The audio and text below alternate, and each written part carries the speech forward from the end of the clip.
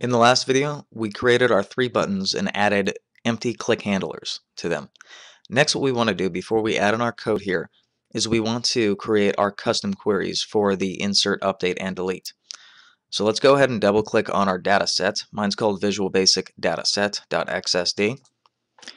And then what we're going to do is we're going to create three queries here and one query here. First, let's create our insert query. Or actually, let's create, yeah, let's create the insert query. So click on the query, make sure the resident table is selected. Double click on query here underneath toolbox dataset. And notice as soon as we click on it, it gets auto-filled right in the resident table adapter. Make sure you select use SQL statement. And then, yeah, it's pretty straightforward. We're going to click on the insert into, click next. It's going to generate the query for us.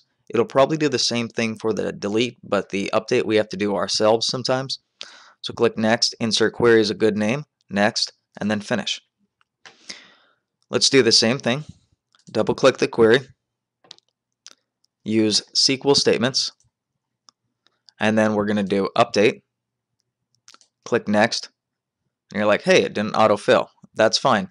You can use the query builder if you'd like. It may give you an error because I have the word update in there. So if I remove the word update and then click query builder, we don't get an error.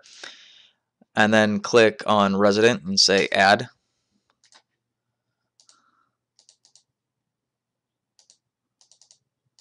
Go ahead, if you want to, click each of these checkboxes and it'll add a field to it. I'm actually going to paste in my code in a second here because I've already written the query statement.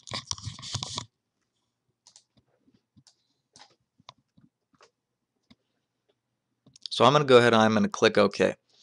And I'm going to explain it real quick, just like I did with the view card history. We say update what table name, which is the resident table, and then we say set the values using the at, and then which is the parameters. And so these are going to be the names that we call when we do the queries in our form. And then what we do, or what we want to update is, where do you want to update it? I want to make sure that I update only the resident ID that is currently selected on my form. So go ahead, click Next. Update query is a good name. Next, and then Finish. Let's build the next one. So we're going to do delete. So again, double click query, use SQL statements, click on delete, next, and yeah, we get that error again. So I'm also going to paste this in. Uh, if you only see one word here, it'll give you that error. Just go ahead and delete that, and then click on Query Builder, select the table you want, close it, and then there you go. See, delete from resident, and then we'll add the rest of the code right now.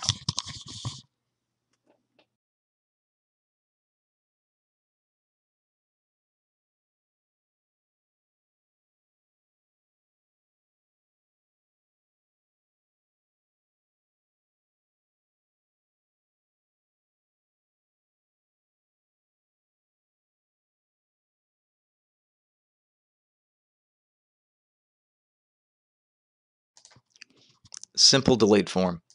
Click OK. Go ahead, click Next.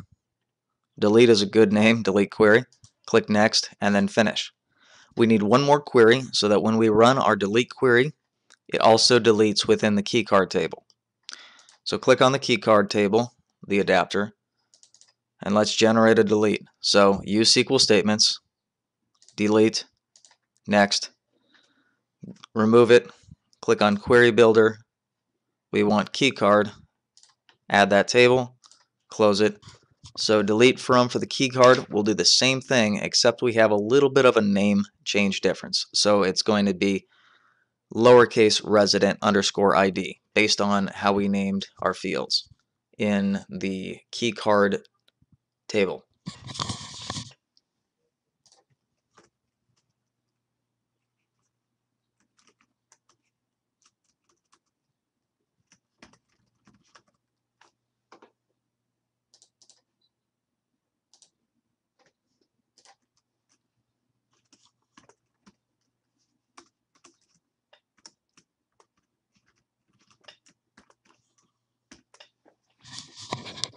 Go ahead, click OK.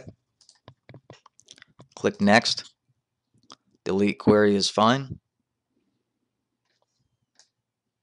Actually, you know what? I'm going to call it delete keycard history.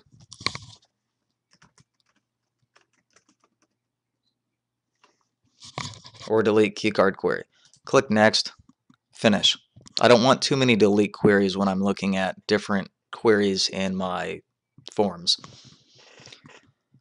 In the next video, I will show you how to apply the queries to each of the forms.